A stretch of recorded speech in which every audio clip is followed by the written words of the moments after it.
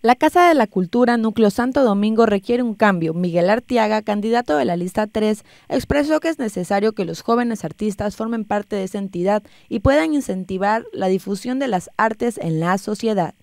Entre sus ejes a trabajar están infraestructura, profesionalización, difusión, promoción de las actividades culturales y artísticas y administración.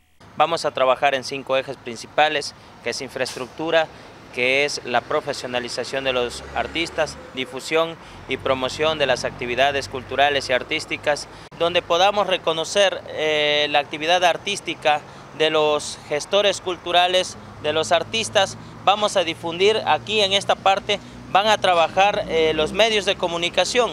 Wilson Chong del Centro Cultural Joaquín Gallegos Lara indicó que se prevé trabajar junto a la Asociación de Artistas de la Concordia y Santo Domingo, así como con los 89 integrantes de Cine Ecuador, con el fin de promover la igualdad, integración y convivencia.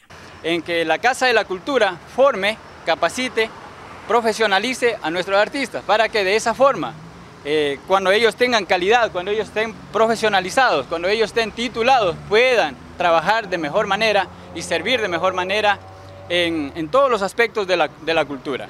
Eh, Aspiran llegar a la directiva para ejecutar sus propuestas. Las elecciones serán este sábado de 8 de la mañana a 5 de la tarde en las instalaciones de la Casa de la Cultura, ubicada en la avenida Quito en las ex instalaciones de la Escuela 9 de Octubre.